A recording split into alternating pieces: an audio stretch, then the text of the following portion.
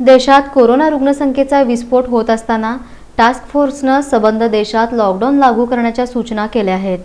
देशाला सध्या कोरोनाच्या दुसऱ्या लाटेचा मोठा फटका बसला असून रुग्णसंख्येनं गाठलेला उच्चांक केंद्र सरकारसाठी चिंतेचा विषय ठरला दरम्यान मृत्यू होणाऱ्या रुग्णांचीही संख्या वाढत असल्यानं कोरोनाचा फैलाव रोखण्याचं मोठं आव्हान केंद्र सरकारसमोर आहे.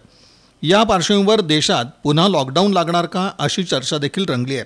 दरम्यान देशात कोरोनाचा वाढता फैलाव रोखण्यासाठी द लँडसेट इंडिया टास्क फोर्सनं केंद्र सरकारला काही महत्त्वाच्या सूचना केल्या आहेत. टास्क फोर्सनं केंद्र सरकारला काही शिफारशी केल्या आहेत त्यामध्ये लॉकडाऊनचाही उल्लेख आहे.